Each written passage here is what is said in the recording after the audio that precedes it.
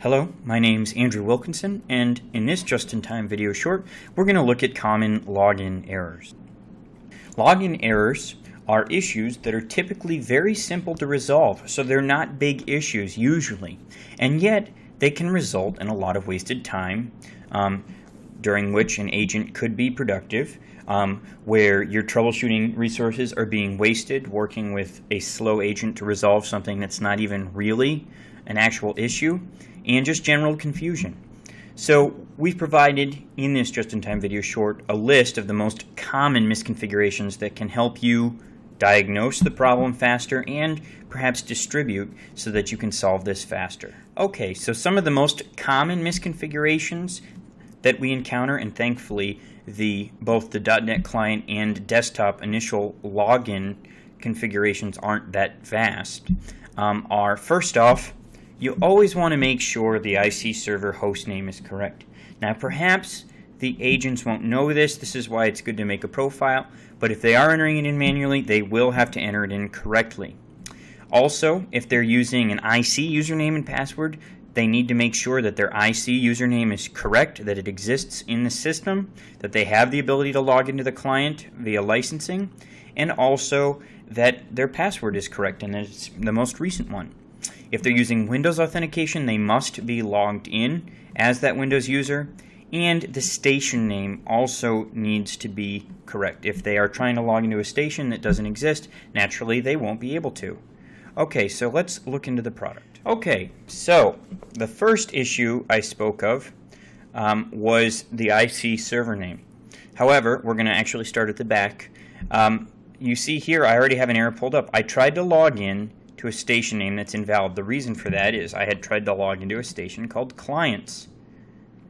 There was just a simple S there. The specified station name is invalid. Now, perhaps the station actually doesn't exist, which in this case it doesn't. You could go into Interaction Administrator and see that there is no station called clients. Okay, so I delete the S and it would log in. Similarly, though, if it was a misspelling, anything like that. The capitalization doesn't matter. Another common mistake that can happen is if people have selected this computer, that will automatically look for a workstation with the same name as whatever the host name of the Windows machine that they are on is. If the station has a separate name that you've configured in administrator, naturally that won't work. And you will get the specified station name is invalid. So all you have to do is put in a valid one and it will work.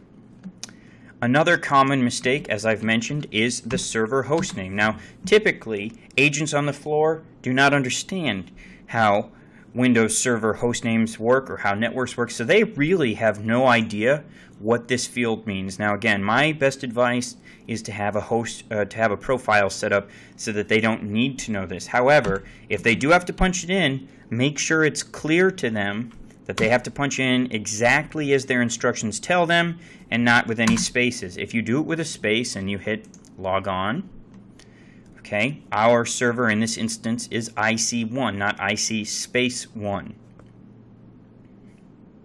It's going to connect. An error occurred while attempting to connect to the server.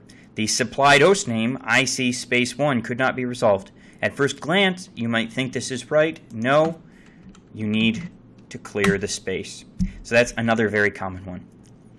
Next, if you are using Windows authentication, okay, it's going to use whatever the user that you have logged into Windows as.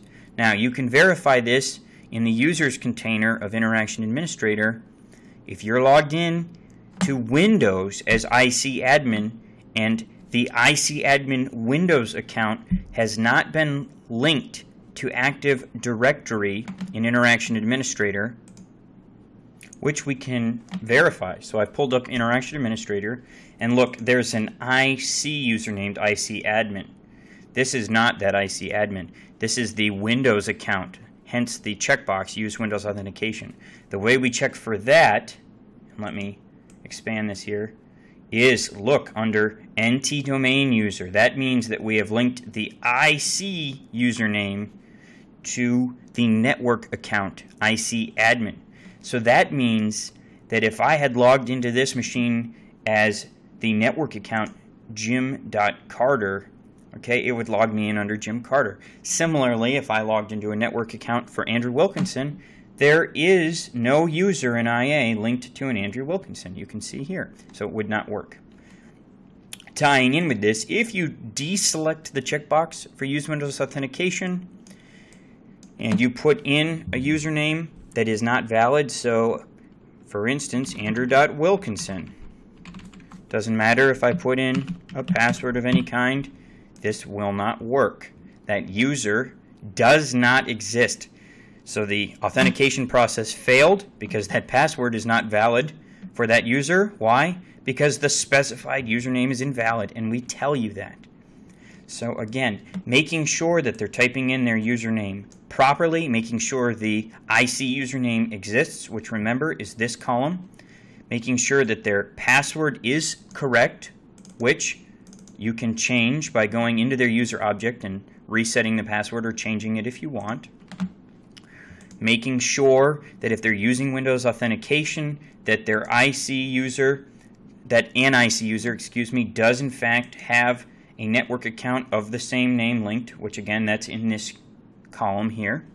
Making sure that the workstation they're logging into does exist, okay, and I can go to stations and look, there is one called. When all of these things are correct and you hit login, you will successfully log in as I have just shown. Okay, well thank you for attending this just-in-time video short. Please make sure to check out our other ones for more useful information. Thank you.